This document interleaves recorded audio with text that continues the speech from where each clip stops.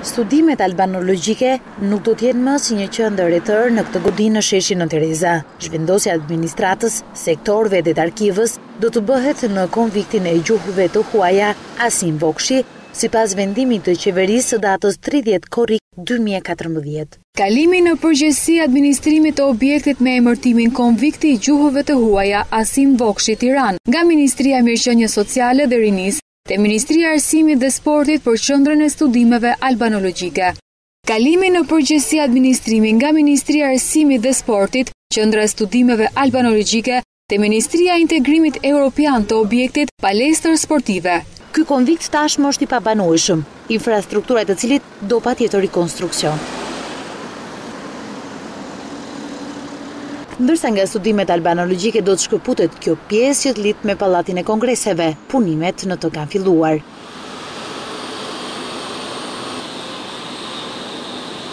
Pronësia është tashmë e Ministrisë së Integrimit. Ora News pyeti Ministrinë e Integrimit se kur do të bëhet zhvendosja, ndërsa burimet zyrtare u përgjigjën Brenda disa javëve, ndërsa në ministrinë aktuale të Integrimit do të kalojë administrata e Ministrisë së Inovacionit. Por drejtori i Qendrës së Studimeve Albanologjike, Ardian Marashi, tha se largimi nga kjo godinë do të thotë tkurrje për këtë institucion. Për pjesën e kërkuesve shkencorë që do të qëndrojnë në disa zyra të kësaj godine do të thotë katër apo pesë kërkues në një zyrë të ngushtë që e bën jokomode punën për kërkimin shkencor. Vazhdojmë të jemi si si si të them si 10 si 10 veta që banojnë në një shtëpi një dhomë me guzhinë.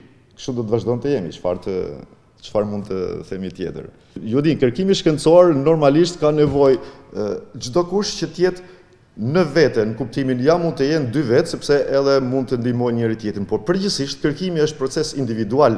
Kemi për shembull arkeologjinë që e kemi jashtëzakonisht shumë problem, janë njëzet e tetë kërkues që kanë vetëm katër zyra në dispozicion. Por edhe për vendin ku do të transferohen, zoti Marashi thotë se ajo është projektuar për konvikt dhe se duhen ndryshime rrënjësore.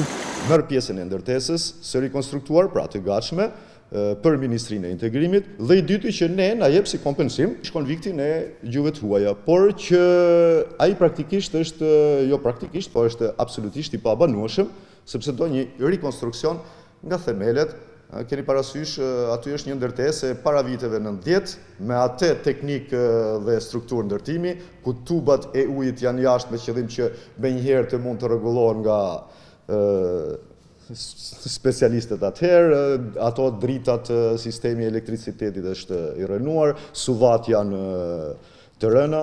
E ndërsa flitet për shkencë në tryezat ministrore, ekspertët me shqetësim thonë se ky copëtim ambientesh e zyrash e bën edhe më të vështirë punën për të realizuar kërkime shkencore.